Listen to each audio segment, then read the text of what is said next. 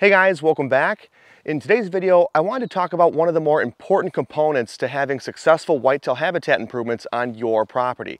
Now there's obviously just more than one factor that goes into having successful whitetail habitat improvements. Uh, for example, you wanna make sure you're having your improvements placed in the right location. You also wanna make sure that you're trying your best to reduce human pressure in those areas.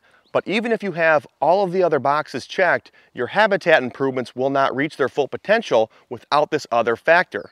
So what is one of the more important components to having successful whitetail habitat improvements on your property? Sunlight.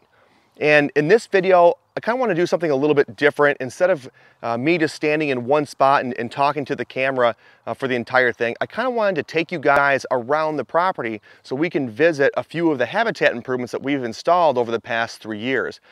We'll focus on the main ones that you'll be putting in on your property, food plots, travel corridors, bedding areas, uh, food plot trails, and I want to show you guys just how much sunlight you need to get to those areas to make sure that those improvements really thrive. And at the end of the video, I wanna show you guys the complete opposite. You know, a part of our property that we have yet to do habitat improvements in that does not get a whole lot of sunlight to the forest floor and show you guys the difference in habitat in an area that does get sunlight compared to an area that does not. But right off the bat, since we're already standing here, let's talk about food plots. Now, most of you guys putting in food plots probably already know that in order for your food plot to be successful, you do need to have a lot of sunlight getting to that area. If you're just raking off leaves or blowing off leaves in the, in the middle of the woods, throwing your seeds down, those seeds are most likely gonna germinate, but they're not gonna go much further than that. You, you do need to have a lot of sunlight getting into the area in order for the food plot to take off. This particular food plot is about 10 to 15 yards wide and it runs about a 100 yards long north and south. And because of the north-south orientation of this plot, a lot of the area will get decent sunlight just because there's not a whole lot blocking it on the south side. However, there were a few large trees lining the perimeter of this food plot. And because this plot is only 10 to 15 yards wide, those larger trees along the side of the food plot they were shading out good portions of this plot.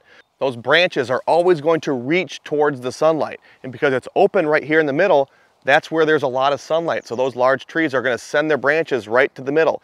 And that's going to shade out your food plot. Now, depending on what you're planting, you can still have success with filtered sunlight. But if you want your food plot to be successful, try your hardest to not have filtered sunlight. Try to have full sunlight reaching the area, especially for those smaller plots. But now let's head into a bedding area that we cut down a few years back to show you guys an example of how much sunlight those need. All right, so now we're in one of the bedding areas that we cut on our property. This one is about a quarter of an acre in size, and we cut it in the spring of 2019. So we are just at two years from when we cut it to right now. And you can see that we're getting a lot of good growth, a lot of new growth in this area. This is a, a hinge cut maple that we had cut, and you can see that the, the new shoots are, are getting you know, four to five feet tall in, in just two years. And, and, and this one is also, you know, coming up pretty good. That, that, this is just the area that you can see from the camera. We have an elm that's uh, coming up pretty good over there. But we, we also have a, a lot of new growth just coming up from the ground. There's a lot of new maples, a lot of new cherries, a lot of briars, a lot of elderberry coming up in this area. But the only reason that we're getting this new growth is because we are getting a lot of sunlight to the area. So the first step that we, we took when we made this bedding area was we made sure we, we removed all of the large trees in the area that we wanted to cut. Uh, if we did not remove those trees and we just hinge cut these smaller trees, the large canopy trees would eventually close the gap from what that was left when these trees fell. So in, right away, we would have had a little bit of sunlight coming in the area, but over the last two years, those larger trees would have closed that gap and they would have shaded out these trees, which are now on the ground, and they would not be getting the sunlight needed to survive. So in order to have a successful bedding area, whether it's a hinge cut bedding area, whether you're just cutting trees down in your woods, you need to have sunlight in order to have new growth. It, it seems painfully obvious, but I just wanna make sure that people understand how much sunlight you actually need in the area in order to get new growth. If you're not taking down the large trees first or, or if you're just hinge cutting a few small trees in your woods, they might survive that season and, and maybe the next season, but they're not gonna survive much longer than that. Every bedding area is gonna have an edge to it and that's no different with this one. So we have trees that we've hinge cut away from the center of this bedding area that fell into a closed canopy forest. Okay, so they're getting a little bit of filtered sunlight from the interior of this bedding area, but once the sun gets, gets on top of those large white pines to the camera right over here, those trees are shaded out. And those trees are not gonna make it nearly as long as these trees more in the interior of the bedding area. But if we wanted to, we, you can always cut trees down around the perimeter, but then you're just gonna keep pushing your bedding area out, making it larger. Your, your bedding area eventually has to have an edge, and you know that's just where this one is. But you can see pretty clearly which trees are getting enough sunlight and which trees are not, just because the trees that are, are thriving are the trees that are getting a lot of sunlight. The trees that are dying around the edge, they're not getting a whole lot of sunlight.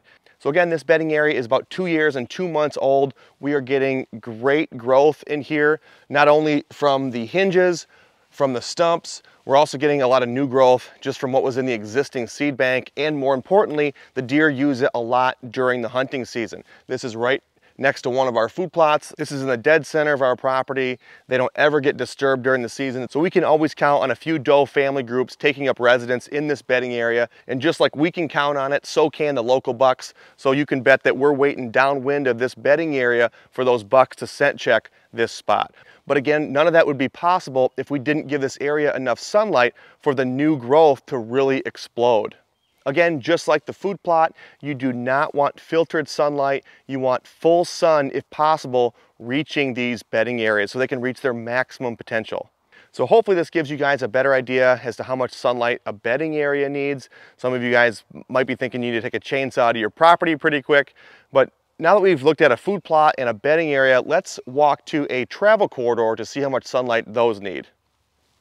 All right, so moving on down the list, we are now standing on one of our deer trails or travel corridor, steering tunnel, whatever you want to call it.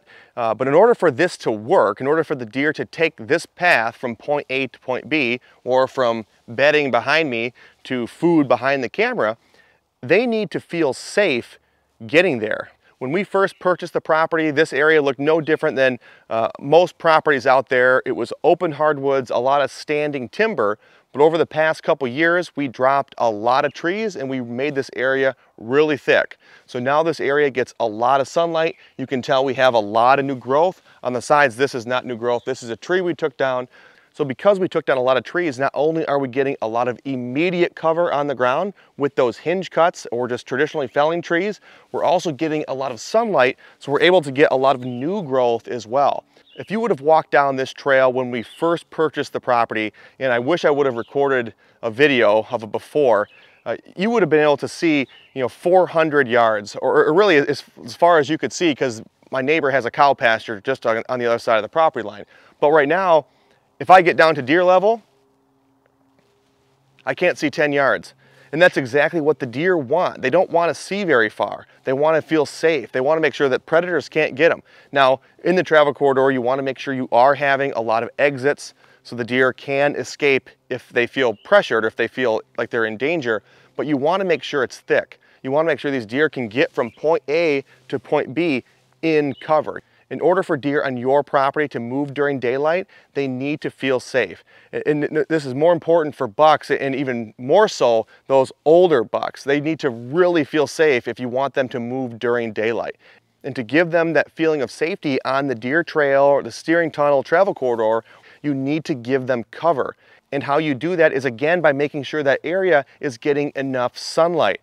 Now you can get away with more filtered sunlight with these deer trails. They don't necessarily need full sun, but if you were to have full sun, that's not a bad thing. You're just going to get more growth. It's going to get thicker faster, and it's gonna stay thicker faster. Again, one of the things you're gonna run into, one of the risks or potential problems with filtered sunlight is eventually those large canopy trees are gonna close the canopy, and now you're back to square one. With no sunlight, nothing's gonna grow, no cover, no feeling of safety, less likely the deer are gonna move during daylight. So Again, you wanna make sure you're giving the plants in the area a chance to really grow by giving them enough sunlight.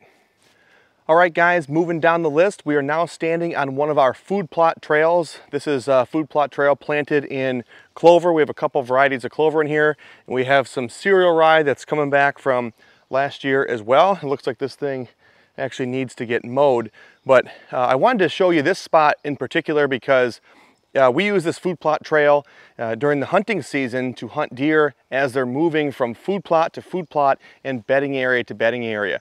But this food plot trail would not be possible if we didn't have enough sunlight reaching this location. If we had planted this food plot trail in the middle of a closed canopy hardwoods to accomplish the same goals of hunting deer as they move from food plot to food plot and bedding area to bedding area, it, it would not have been successful. We could have the perfect soil, seed to soil contact planted right before rain, but without sunlight, we would not have this type of a result. And we already talked about food plots earlier on how you want to try to have full sun instead of filtered sun.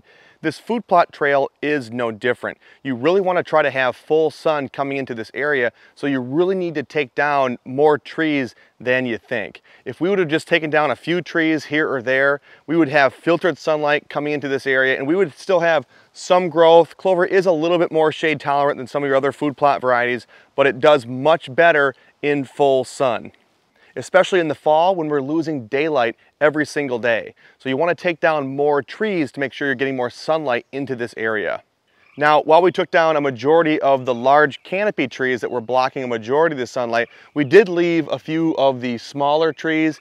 They're not gonna really be blocking much sunlight and we still wanna leave some structure in here, some cover in here, so the deer feel comfortable moving through this area during daylight. And guys, you don't have to take down every single tree all in one year. There are still trees that I need to take down that are blocking sunlight on, on this particular clover trail. I'm looking at a large maple right now that's blocking a lot of sun that I really want to take down. But again, if you want to plant a food plot trail on your property and you want to come in really thick, you need to make sure that that area is receiving a lot of sunlight. These food plot trails are not very wide. At any given point in the trail, it could go anywhere from five feet wide all the way up to 10 feet wide. This part right here is a little over six feet wide.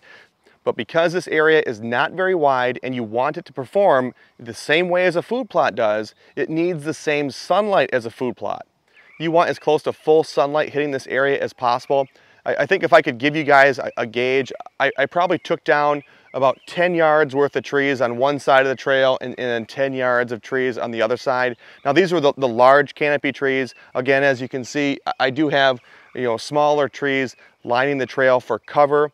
Uh, you know, those are not gonna block that much sunlight. If I ever do feel that those trees are gonna start blocking sunlight, you better believe they're gonna come down because I want this trail to continue to perform for us, you know, throughout the hunting season. Because again, during the hunting season, the deer use this trail a lot to move from food plots to other food plots, from bedding areas to other bedding areas they, they use this food plot to, to browse down as they're moving from point A to point B and, and we can sit on the side of the property and shoot into this trail. So we just really want to make sure that this trail is performing during the hunting season and in order for that to happen we need to make sure that we continue to have enough sunlight hitting this trail. All right, so now that we've shown you guys four different habitat improvements that we've installed on this property, I wanted to show you guys the power of sunlight in open hardwoods. Also, I want to show you guys what happens when there is a lack of sunlight in the woods. All right, so now we are at one of these smaller bedding areas on our property. It's not a large bedding area. It's somewhere in between a tenth of an acre and a quarter of an acre in size, but we did not create this one. We, we did help it out a little bit by hinging some of the trees along the outer edge to, to just to kind of get a little bit more sunlight into the bedding area. But we did not create this bedding location. This bedding location was created by the sunlight. Over time, trees have just either fallen over or the previous owner of this property removed trees from this location to either work on his woodworking projects or heat his house. We didn't take down any trees in this location, minus a few uh, around the edge just to, to kind of help give more sunlight to the area. But we didn't even really need to do that. Uh, hopefully you can see, uh, I, I tried to make the lens as wide as I could just so you can kind of see the open sky above this area. And this is what you're gonna get if you just open up pockets in your woods. It's not gonna happen overnight. It's not gonna happen the following season. You know, three to five years after you open up about a quarter acre in your woods, this is what you're gonna be left with. It's just a, a nasty pile of briars, there's elderberry, we, there's, there's young saplings coming up in here, there's a ton of grapevines just kind of growing everywhere in here. It's a really thick mess, and when all the leaves come off the trees in the fall, this is still thick. So th this doesn't hold a whole lot of deer in the fall. Again, it's, it's not a very large bedding area, but it gives them an, an additional option, another place to kind of escape the pressure during the hunting season. But there's a couple of these on the property where trees either just blew down or the previous owner was taking them out to, to again, supplement the heat in his house. So we have one here, we have one about 75 yards to the east, and, there, and there's one way on the back corner of the property, not really in the most ideal location because I need to access around that corner, but that, that's just where they took down some trees and that's where there's a lot of new growth now. But again, this is what you can have on your property if you just let sunlight into your closed canopy woods. You're gonna have all of this new growth just because you're letting sunlight hit the forest floor. And as you can see, that's full sun up there. There's not a single tree blocking that sunlight. And over time, I, I am gonna probably, you know, kind of feather this edge a little bit, give this area a little bit more sunlight, give it a little bit more cover because I, I want to increase the bedding opportunities on this property because in this area there's not a whole lot of bedding opportunities in general so I want to provide more on this property. And if you're able to do this on your property, you can have immediate cover if you're able to hinge cut smaller trees like this because you're not only going to have the cover of the hinge cuts on the ground, you're going to have the new growth from the sunlight. But if you do have a property where you have a majority uh, of larger trees in the area that you want to do something like this, it's going to take a little bit longer, again, anywhere from three to five years to, to really see a lot of the new growth start coming in. So if you're hoping to put a few bedding areas on your property, I want to show you, it doesn't have to be super complicated. The biggest thing is you want to have sunlight hitting the forest floor. So you got to take trees down. And it might take a little bit of time or you might have immediate cover if you're able to hinge cut some of the smaller trees, but but anyone can make a really thick area on their property, hopefully turning it into a bedding area as long as you get enough sunlight to that location. So normally you want to save the best for last, but I did the exact opposite in this video. Uh, this is an area of our property that has the most opportunity. And for those of you guys that are not familiar with corporate America speak and their lingo, I'll, I'll translate. Uh, it sucks. I should have done this video a few weeks ago before leaf out, but hopefully you guys can still see what I'm trying to show you. Uh, this is an area where you can see way too far. From this location that I'm standing in right here, I can see about 150 yards in almost every direction. And that is not good. Uh, some people will call this the, a, a, park effect woods. Some people call this a deer desert. And they're absolutely right. It, it looks just like a state park. And unlike a state park where there's no hunting pressure, there's a lot of hunting pressure in this area. So this is going to be a deer desert in the fall. Now that doesn't mean that I'm never going to see a deer in this area as they're coming from, you know, maybe a, a neighboring field in, into my cover or, or to food plots. You know, I could randomly see a deer, but there's not going to be any consistent pattern back here. It's all going to be random movement and it's a lot of it's going to be nocturnal movement uh, because the deer do not want to be in this open woods especially bucks and even more so those older bucks. And why I wanted to show you this is because I want to show you what happens when there is a lack of sunlight. When, it, when there's a closed canopy, there isn't any opportunity for new growth. That means no browse, no food, no cover, no security.